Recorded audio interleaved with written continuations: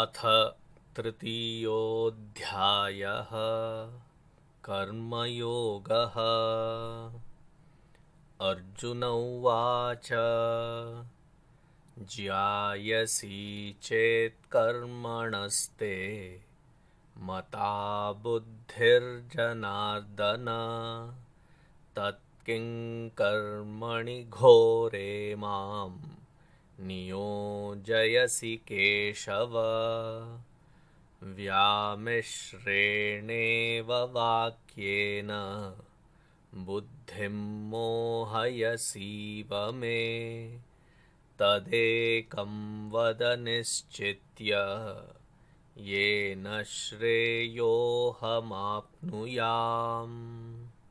श्रीभगवानुवाच लोकेऽस्मिन् द्विविधा निष्ठा। पुरा प्रोक्ता मया नघ। ज्ञानयोगेन साङ्ख्यानां कर्मयोगेन योगिनाम्।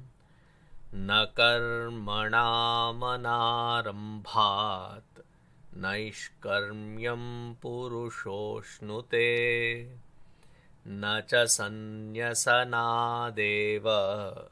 सिद्धिं समधिगच्छति। न हि कश्चित्क्षणमपि जातु तिष्ठत्यकर्मकृत्। कार्यते ह्यवशः कर्म। सर्वः प्रकृतिजैर्गुणैः कर्मेन्द्रियाणि संयम्य य आस्ते मनसा स्मरन् इन्द्रियार्थान् विमूढात्मा मिथ्याचारः स उच्यते यस्त्विन्द्रियाणि मनसा नियम्यारभतेऽर्जुन। कर्मेन्द्रियैः कर्मयोगम् असक्तः स विशिष्यते। नियतं कुरु कर्म त्वं। कर्मज्यायो ह्यकर्मणः। शरीरयात्रापि च ते। न प्रसिद्ध्येदकर्मणः यज्ञार्थात् कर्मणोऽन्यत्र लोकोऽयं कर्मबन्धनः तदर्थं कर्म कौन्तेय मुक्तसङ्गः समाचर। सह यज्ञाः प्रजाः सृष्ट्वा। पुरोवाच प्रजापतिः। अनेन प्रसविष्यध्वं। येषवोस्त्विष्टकामधुक्। देवान् भावयतानेन। ते देवा भावयन्तु वः परस्परं भावयन्तः। श्रेयः परमवाप्स्यथ। इष्टान् भोगान् हि वो देवाः। दास्यन्ते यज्ञभाविताः। तैर्दत्तानप्रदायैभ्यः यो भुङ्क्तेस्तेन एव सः। यज्ञशिष्टाशिनः सन्तः। मुच्यन्ते सर्वकिल्बिषैः। भुञ्जते ते त्वघं पापाः। ये पचन्त्यात्मकारणात् अन्नाद्भवन्ति भूतानि पर्जन्यादन्नसम्भवः यज्ञाद्भवति पर्जन्यः यज्ञः कर्मसमुद्भवः कर्म ब्रह्मोद्भवं विद्धि ब्रह्माक्षरसमुद्भवम् तस्मात् सर्वगतं ब्रह्म। नित्यं यज्ञे प्रतिष्ठितम्। एवं प्रवर्तितं चक्रम् नानुवर्तयति हयः। अघायुरिन्द्रिया रामः। मोघं पार्थ स जीवति यस्त्वात्मरतिरेव स्यात् आत्मतृप्तस्य मानवः आत्मन्येव च सन्तुष्टः तस्य कार्यं न विद्यते नैव तस्य कृतेनार्थः नाकृते नेह कश्चन। न चास्य सर्वभूतेषु कश्चिदर्थव्यपाश्रयः। तस्मादसक्तः सततं कार्यं कर्म समाचर। असक्तो ह्याचरन् कर्म परमाप्नोति पूरुषः। कर्मणैव हि संसिद्धिम्। आस्थिता जनकादयः। लोकसङ्ग्रहमेवापि सम्पश्यन् कर्तुमर्हसि। यद्यदाचरति श्रेष्ठः तत्तदेवेतरो जनः स यत्प्रमाणं कुरुते लोकस्तदनुवर्तते। न मे पार्थास्ति कर्तव्यम् त्रिषु लोकेषु किञ्चन।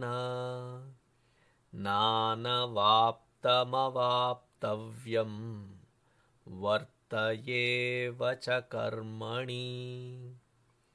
यदि ह्यहं न वर्तेयं जातु कर्मण्यतन्द्रितः। मम वर्त्मानुवर्तन्ते मनुष्याः पार्थ सर्वशः।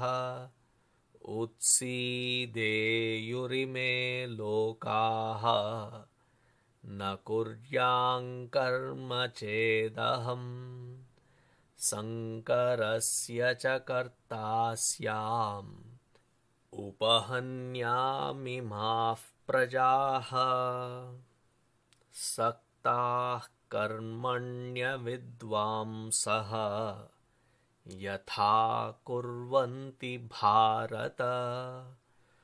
कुर्याद्विद्वांस्तथा सक्तः चिकीर्षुर्लोकसङ्ग्रहम् न बुद्धिभेदं जनयेत् अज्ञानां कर्मसङ्गिनाम् जोषयेत् सर्वकर्माणि। विद्वान्युक्तः समाचरन् प्रकृतेः क्रियमाणानि गुणैः कर्माणि सर्वशः। अहङ्कारविमूढात्मा कर्ताहमिति मन्यते। तत्त्ववित्तु महाबाहो गुणकर्मविभागयोः गुणागुणेषु वर्तन्ते इति मत्वा न सज्जते। प्रकृतेर्गुणसम्मूढाः सज्जन्ते गुणकर्मसु।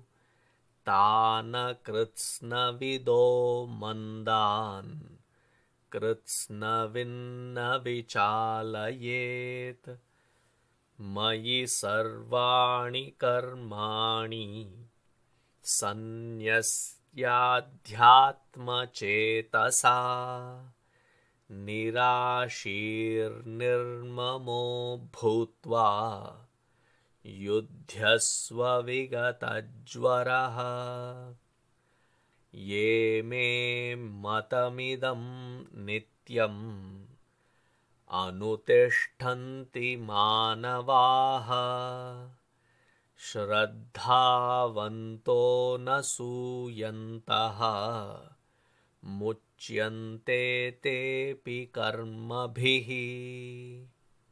ये त्वेतदभ्यसूयन्तः नानुतिष्ठन्ति मे मतम् सर्वज्ञानविमूढांस्तान्। विद्धि नष्टानचेतसः सदृशं चेष्टते स्वस्याः। प्रकृतेर्ज्ञानवानपि। प्रकृतिं यान्ति भूतानि निग्रहः किं करिष्यति? इन्द्रियस्येन्द्रियस्यार्थे रागद्वेषौ व्यवस्थितौ तयोर्नवशमागच्छेत् तौ ह्यस्य परिपन्थिनौ श्रेयान् स्वधर्मो विगुणः परधर्मात् स्वनुष्ठितात् स्वधर्मे निधनं श्रेयः परधर्मो भयावहः। अर्जुन उवाच अथ केन प्रयुक्तोऽयम् पापञ्चरति पूरुषः अनिच्छन्नपि वार्ष्णेय बलादिव नियोजितः श्रीभगवानुवाच। काम एष क्रोध एषः रजोगुणसमुद्भवः महाशनो महापाप्मा विध्येनमिह वैरिणम्। धूमेनाव्रियते वह्निः यथादर्शो मलेन च यथोल्बेनावृतो गर्भः तथा तेनेदमावृतम् आवृतं ज्ञानमेतेन ज्ञानिनो नित्यवैरिणा।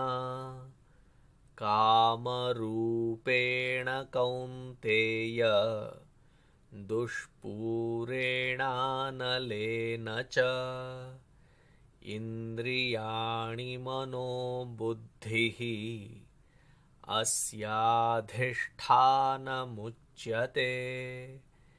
एतैर्विमोहयत्येषः ज्ञानमावृत्य देहिनम्। तस्मात्त्वमिन्द्रियाण्यादौ नियम्य भरतर्षभ। पाप्मानं प्रजहिह्येनं ज्ञानविज्ञाननाशनम्। इन्द्रियाणि पराण्याहुः। इन्द्रियेभ्यः परं मनः। मनसस्तु परा बुद्धिः। यो बुद्धेः परतस्तु सः। एवं बुद्धेः परं बुद्ध्वा संस्तभ्यात्मानमात्मना। जहि शत्रुं महाबाहो कामरूपं दुरासदम् ॐ तत्सत् इति श्रीमद्भगवद्गीतासु उपनिषत्सु ब्रह्मविद्यायां योगशास्त्रे श्रीकृष्णार्जुनसंवादे कर्मयोगो नाम तृतीयोऽध्यायः